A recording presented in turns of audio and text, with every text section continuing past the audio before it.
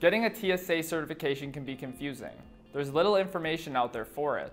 In this video, I'm going to give you the two requirements for becoming a TSA certified truck driver and point you in the right direction to get started.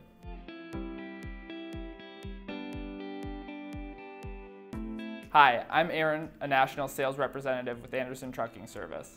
TSA certification is required when a truck driver is transferring cargo from their truck to an airplane.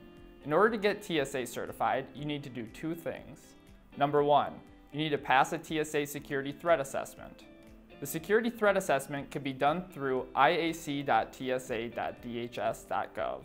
Federal regulations state that the TSA STA is required for each individual who has unescorted access to cargo and access to information that such cargo will be transported on a passenger aircraft, or who performs certain functions related to the transportation, dispatch, or security of cargo for transport on a passenger aircraft or all cargo as specified in the Direct Air Carrier Security Program. For more information, we will provide a link in the description below. Number two, indirect air carrier training. The second thing you need is the appropriate training.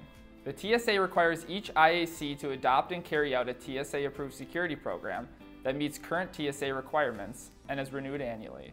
TSA principal security inspectors are the primary points of contact for the application process and approval of certification.